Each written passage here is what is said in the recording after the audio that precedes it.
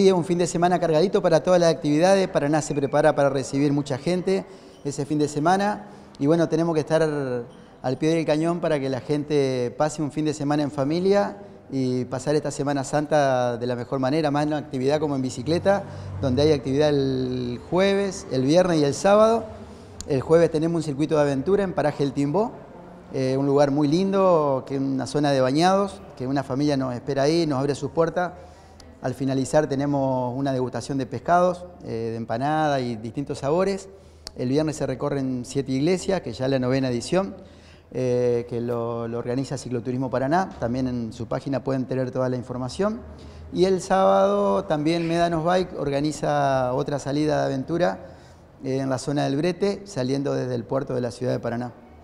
Repasemos horarios. Mañana la actividad de jueves. mañana eh, a las 14 horas salimos de Plaza Belgrano, que está frente al Cristo.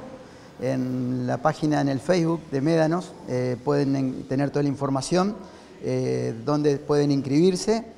salimos en caravana, en bicicleta o en auto, porque la verdad que es una actividad para también poder disfrutarla en vehículo, en un lugar donde la gente puede ir, esperar la, la familia mientras la otra persona pedalea, así que eh, es una muy linda propuesta. A las 15 horas largamos desde el Timbó y al finalizar, como les mencioné recién, vamos, tenemos una degustación de pescado, eh, tienen servicio de cantina y es un lugar muy lindo para ir a pasar el día.